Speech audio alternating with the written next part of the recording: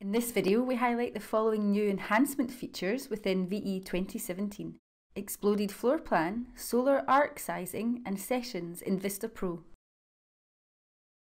The Input Data Visualization tool in Apache View that launches the model viewer has been enhanced to allow for an exploded view of the building floor plans. This allows the user to separate out the floor plans such that the input data can be viewed more easily. Within this sample model, you can see the perimeter zones clearly, however the internal zones of each floor are hidden. Select the type of data to be displayed, then for an exploded model, select Stories from the drop-down box.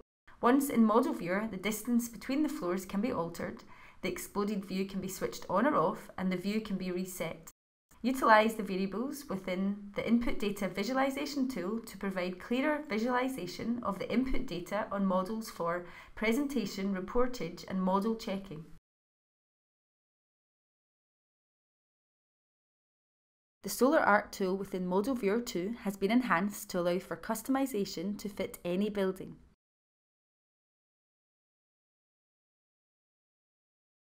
Access to the editing tool is here. To align with the model size, simply increase or reduce as appropriate. It allows you to modify the size of both the arc and the sun to match the model footprint should the default settings not be suitable.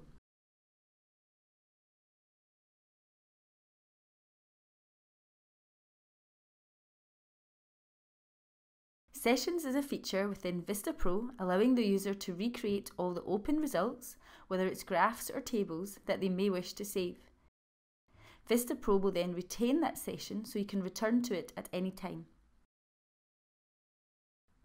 Click Add in order to create a new session. You can enter summary information so you can keep track of each session.